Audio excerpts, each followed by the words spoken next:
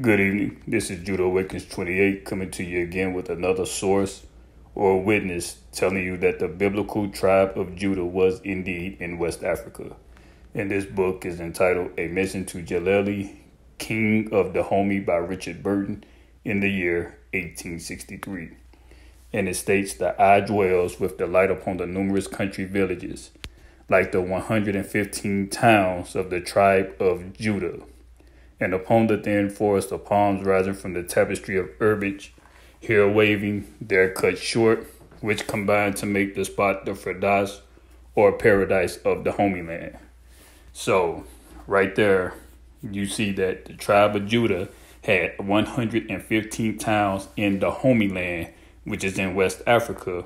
And what's interesting about this is that this area was known as the Kingdom of Judah prior to the Dahomey destroying it in the year 1727. This is the area of the slave coast where the slaves were shipped off from to different parts of the world, the kingdom of Judah, and these people were in fact known as Jews.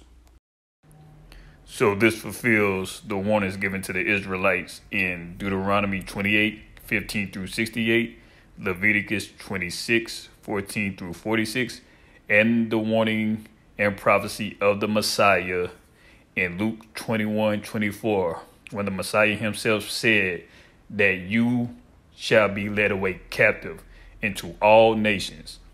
The Mexicans have never been led away captive into all nations. The Ashkenazi have never been led away captive into all nations. The Gypsies have never been led away captive into all nations.